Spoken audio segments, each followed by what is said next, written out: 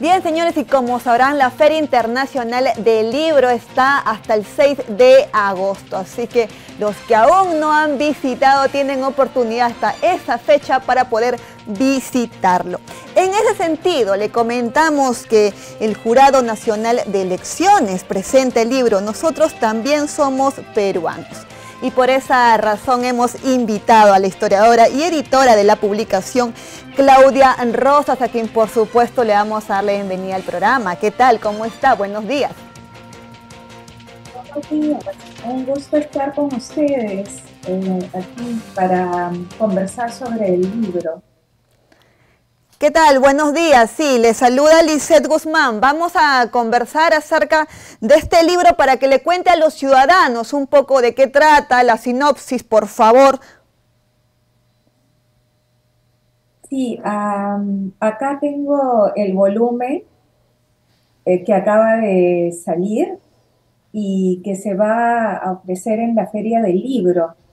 Y para mí es un eh, enorme gusto que este volumen se haya podido publicar por el Fondo Editorial del Jurado Nacional de Elecciones y el Fondo Editorial de la Pontificia Universidad Católica del Perú, que es donde surgió este libro que busca analizar a lo largo de la historia, desde el siglo XVI hasta la actualidad, el eh, problema tan eh, importante de la marginación en nuestro país.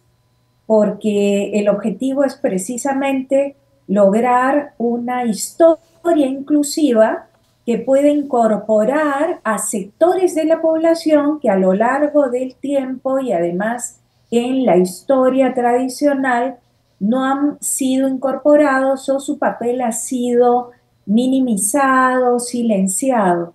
Entonces justamente estamos hablando de la población indígena, afrodescendiente, incluso el papel de las mujeres, los sectores populares, y de esa manera, a través de un trabajo colectivo de diversos eh, historiadores y especialistas en ciencias sociales, tratamos de dar, de dar una mirada de larga duración, de largo alcance eh, sobre este problema que si bien es un problema actual, no solamente se puede eh, analizar desde un punto de vista coyuntural, sino que hay que entender las dinámicas históricas que eh, han generado este tipo de, de problema, ¿no?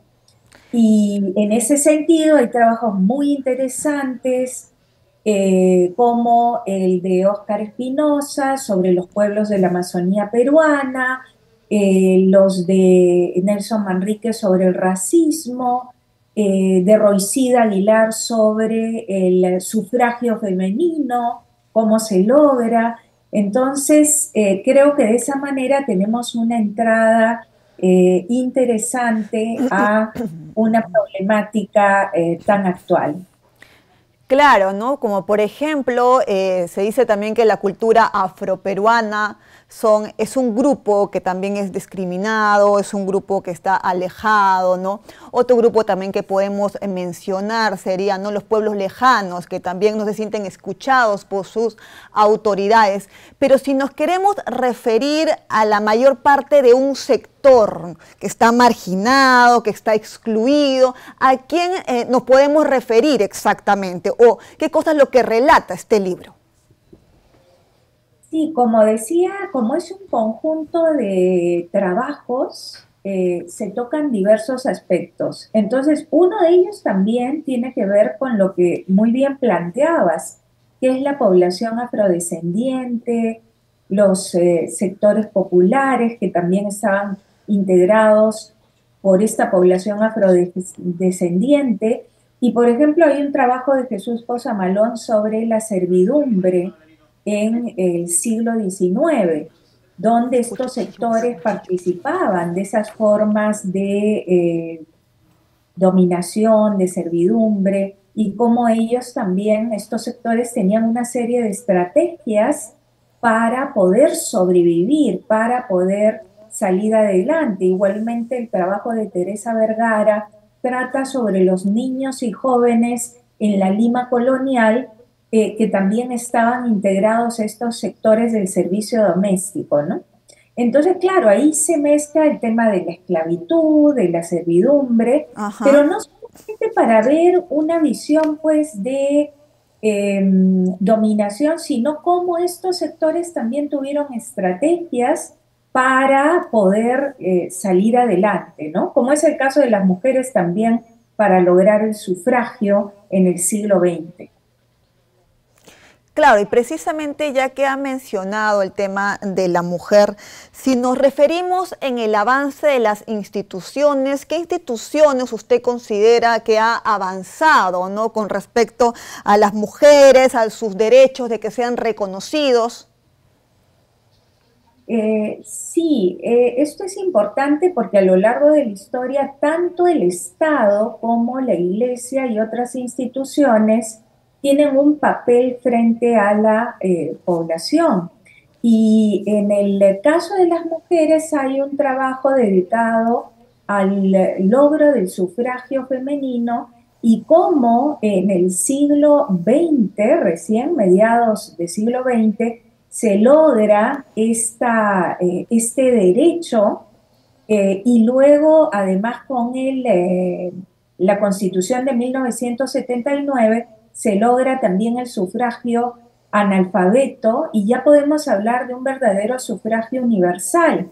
Y en ese sentido, el Jurado Nacional de Elecciones, por ejemplo, tiene un papel muy importante, no solo al velar por estos derechos, sino también porque está publicando eh, trabajos, obras que eh, a través de eh, su área de educación permiten que la población reflexione sobre este, estos procesos que se han dado a lo largo de la historia y pueda ser consciente de que para realmente tener una democracia hay que velar porque se cumplan estos derechos, ¿no? Y eso que estoy hablando de un, solo aspecto, que es el aspecto del sufragio, ¿no? Los derechos son evidentemente mucho más amplios y abarcan tanto a ciudadanos como a ciudadanas. Y si hablamos, por ejemplo, de países que tengan características similares a la que usted ha mencionado, de repente algún país de la región, ¿de cuál podríamos estar hablando? En realidad, hay muchos elementos comunes con todos los países del continente, sobre todo en el área de lo que era eh, Hispanoamérica porque si vemos eh, la historia desde atrás, desde el periodo colonial, es que tenemos este tipo de instituciones como la esclavitud y también la población indígena tuvo un estatus similar. Entonces, muchos de estos aspectos y elementos son los que, con cambios evidentemente, pero van a tener una continuidad durante el eh, periodo republicano, es decir, después de la independencia. Recordemos que la esclavitud en los países del continente se abolió eh, entrado el siglo XIX. Entonces son estructuras que van a durar por tiempo. La misma situación de la población indígena. Entonces estamos hablando de elementos estructurales que nos permiten comprender por qué la resistencia a estas formas de participación, de consideración de ciudadanos a, grandes sectores de la población que no habían tenido previamente esa consideración, por más que ya se había producido la independencia y se había establecido la república. Claro, usted también eh, en uno de los capítulos se señala con respecto al COVID-19. ¿Considera usted que de repente esta pandemia eh, agudizó un poco más las brechas sociales que existen ya en nuestro país? Sí, el eh, problema de nuestro país es un punto importante porque, claro, lo llamamos en el libro con este título, la marginación, pero eso alude a diversas formas de marginación que pueden ser desde las políticas hasta las sociales, económicas, incluso culturales. Entonces el problema de fondo es el tema de la desigualdad. Y este elemento, eh, este aspecto saltó durante la pandemia del COVID-19 o de la COVID-19 porque justamente se manifestaron las contradicciones sociales, económicas e incluso culturales eh, en nuestro país. Entonces, claro, las brechas se han hecho más profundas y sobre todo el periodo post-COVID que nos encuentra en un eh, tiempo de una crisis profunda a todo nivel, incluso eh, a nivel político. Entonces, em, estas, em, estas desigualdades se manifestaron con gran fuerza, como es lo que generalmente ocurre durante las eh, crisis, en este caso una crisis sanitaria, pero que puso al descubierto pues eh, aspectos de tipo social, económico, también de género. Entonces, formas de eh, violencia, de eh, lucro económico, de acceso a la salud, porque estamos hablando ahí de una serie de derechos que incluían también el derecho a la salud, a la integridad física, eh, psicológica de los ciudadanos y ciudadanas. Entonces, ese efectivamente das eh, en un punto fundamental porque eh, en estos momentos es cuando vemos claramente estas brechas en nuestro país, ¿no? Que están manifestadas, por ejemplo, también no solamente en formas de violencia como la de género, sino también en formas de de racismo, de discriminación, que es importante superar para poder eh, salir adelante, ¿no? Y por eso la importancia de reflexionar a través de esta publicación que reúne a diversos autores sobre este tipo de problemática. Perfecto, le agradezco a usted por su participación. Gracias por habernos acompañado.